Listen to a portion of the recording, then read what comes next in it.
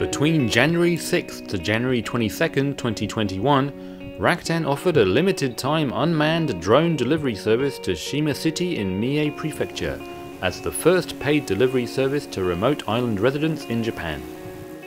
The drone delivered goods from a supermarket in the city to Masaki Island, about 4 kilometers from the mainland, making a round trip of approximately 11 kilometers. Since travelling between island and mainland has become more challenging under the pandemic situation, a new form of non-contact delivery was realised to meet new lifestyle needs.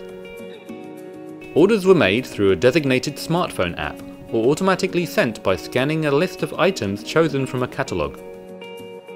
Having been received by the store, orders were then prepared, packaged and placed in a special delivery case before being brought to the takeoff point. The delivery case was attached to the drone, which followed a programmed flight path of approximately 5.5 kilometers, completing the delivery in about 15 minutes.